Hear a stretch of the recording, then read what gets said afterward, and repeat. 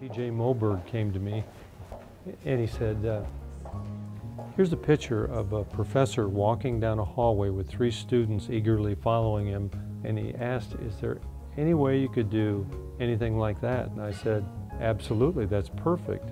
The reason the piece is called Diamonds in the Rough, the, the professor is made of stainless steel. He's the gleaming finished product and the students, uh, in, they're all in medical scrubs and their skin is actually rusted steel. The idea that when they complete their education, they will have become refined into something very important.